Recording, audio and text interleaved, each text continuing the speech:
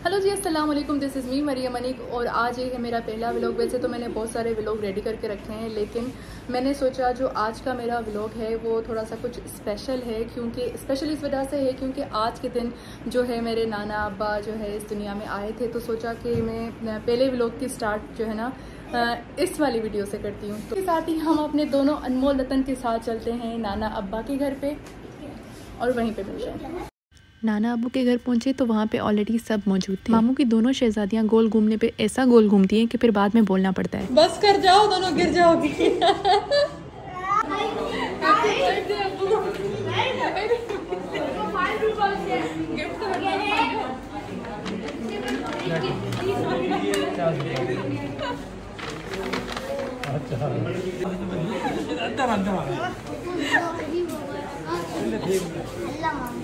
आज तो हमारे बच्चे भी नाना अबू से ऐसे मिले जैसे पहली बार मिले हों। उसके बाद मैं चली बच्चों के साथ थोड़ी मस्ती कर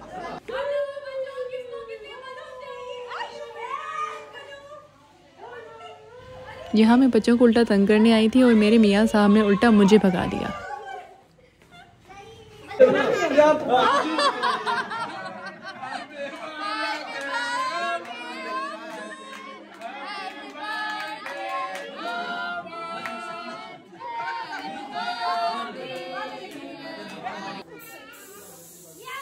वैसे हमारे यहाँ हर तरह के नमूने पाए जाते हैं। कुछ मस्ती वाले कुछ फ़नी से कुछ गुस्से वाले भी आ, हर तरह के ही मौजूद हैं। और फिर वीडियो बनाते बनाते आधे मेरे बाल भी सफ़ेद हो चुके थे।